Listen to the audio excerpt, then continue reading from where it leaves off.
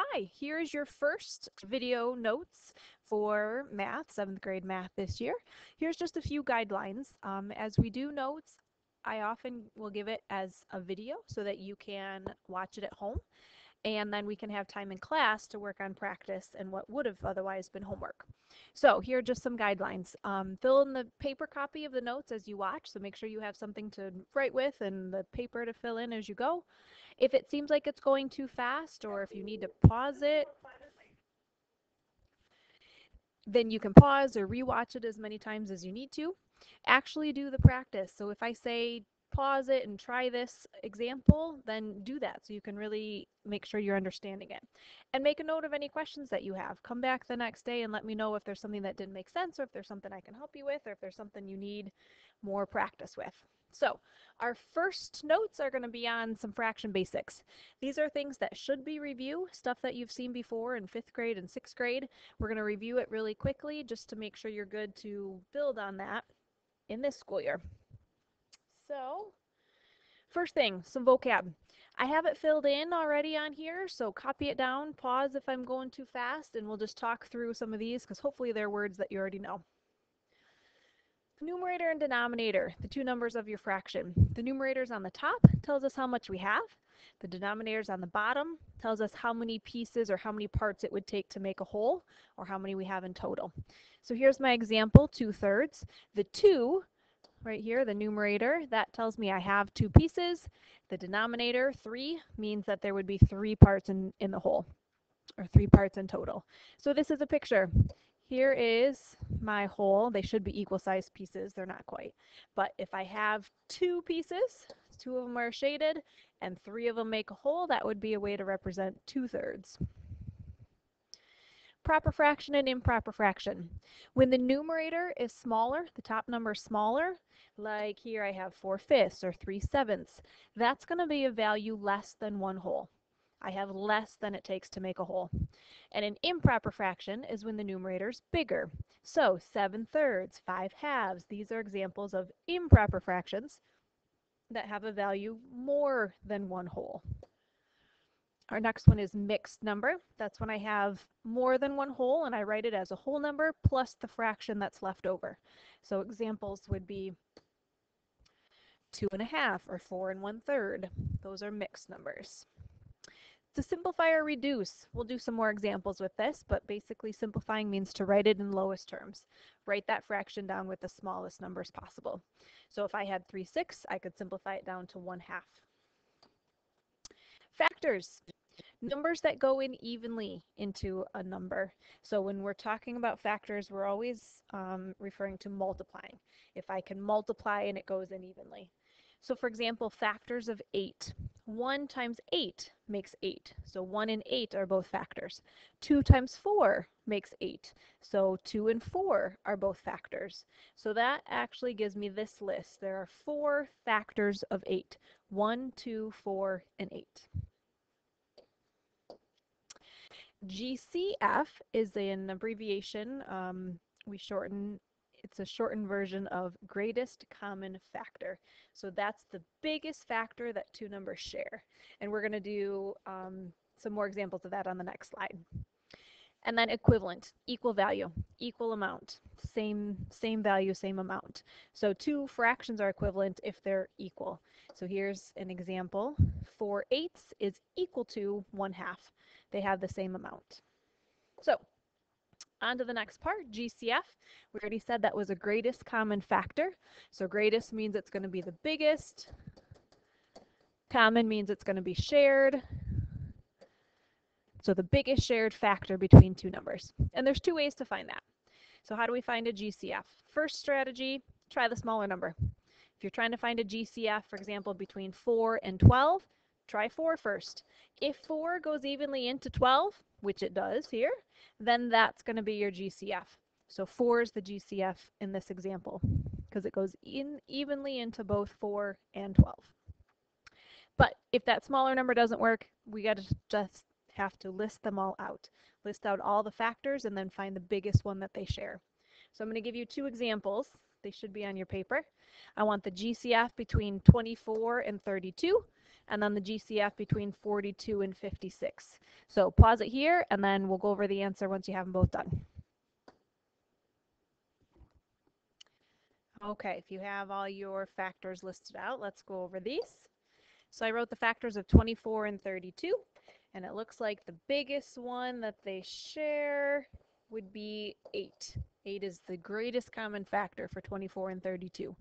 And then 42 and 56, looks like they share 2, 7, 14 is the biggest, so the greatest common factor for 42 and 56. Okay, on the next slide, uh, we have simplifying. So what does it mean to simplify fractions? Just writing it a fraction in the smallest numbers possible, but keeping the value the same. So reducing it down to smaller terms or least terms, smaller numbers that are easier to work with. That's why we simplify fractions. So the steps to simplifying a fraction would be find that GCF between the numerator and the denominator. Find the factor that goes into both the top and the bottom of your fraction. And divide the numerator and denominator by that greatest common factor.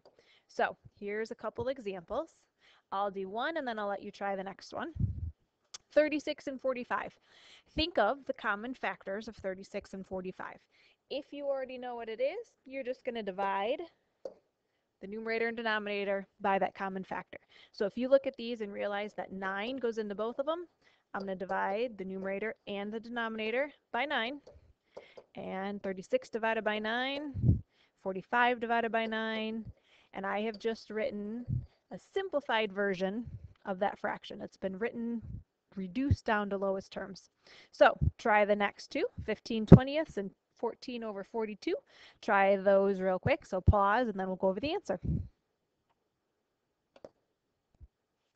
Okay, 15 over 20, 15 twentieths. Greatest common factor is 5, and I can reduce it down to 3 fourths.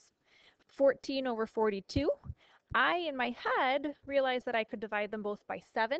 So that gave me this 2 sixths. But then I realized, hmm, that can still be reduced further. So I have to keep going. If you ever try simplifying something and then check your answer to make sure it's simplified all the way. Because really, 14 could have gone into both of these numbers. So I could have done 14 over 42 like this. And that would have given me one third. So if you're not sure if you have the actual greatest, biggest common factor, then try the number that you can think of. Like here, I tried seven. It gave me another reduced, but not completely simplified answer. And then you just have to keep going. So I would just divide this by two, divide this by two, and I can get it reduced down to the final answer of one third. Okay, our next topic is equivalent fractions. So what are equivalent fractions? Fractions that have equal value. They represent the same amount. Equivalent fractions will always either reduce down to the same fraction, so they'll simplify down to the same thing, or they will divide and give you the same decimal. So if you have a calculator, sometimes just dividing them and seeing if the decimal values are equal might be an easy way to check if two fractions are equivalent.